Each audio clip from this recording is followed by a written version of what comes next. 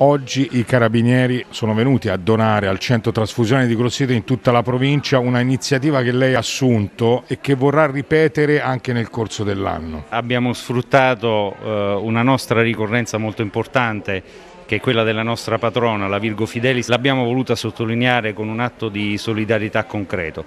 Eh, questa collaborazione che abbiamo avviato con il centro trasfusionale del Misericordia e con l'ASL eh, ha il suo inizio oggi, ma in realtà speriamo di far seguire tante date e di eh, portare eh, presso il centro trasfusionale quanti più carabinieri è possibile, anche perché ricordiamo che i carabinieri sono innanzitutto cittadini, vivono tra la gente ed è giusto che eh, diano anche un, un, contributo concreto a quelle che sono le situazioni più delicate che richiedono appunto l'apporto di sangue. I nostri carabinieri non solo tutelano e proteggono eh, i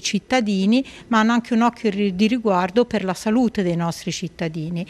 Questa iniziativa di oggi però non significa che la donazione di sangue è riservata solo a pochi, ma è un monito per eh, comunicare a tutti i cittadini che possono venire a donare. Avis ha organizzato una mattinata decisamente particolare, ancora di più si lega il nome di Avis a quello dell'Arma. Ringrazio a nome dell'Avis Comunale Grosseto il comandante provinciale dei Carabinieri e tutti i suoi uomini che si sono impegnati a venire stamattina a donare. Mi auguro che si ripeteranno queste, queste iniziative, ma non soltanto con l'Arma dei Carabinieri, ma su, tutte, su tutti i militari che operano qui nella città di Grosseto.